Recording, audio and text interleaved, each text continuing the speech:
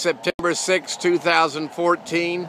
We are doing a test with sandbags on the rail car, about 300 kilos.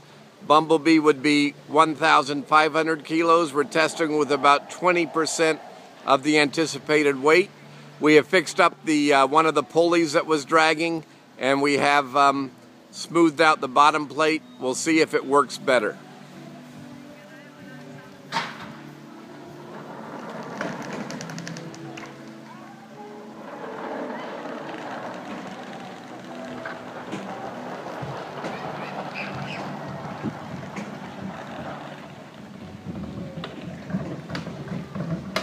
Wow. That's better.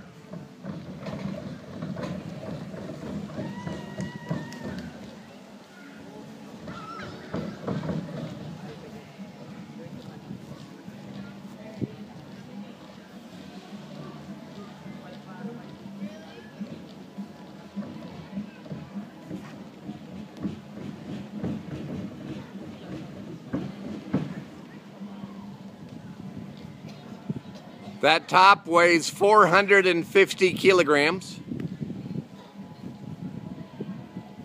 A manual spin gets it up to 100 RPM. We'll analyze the video. I think we did significantly better today.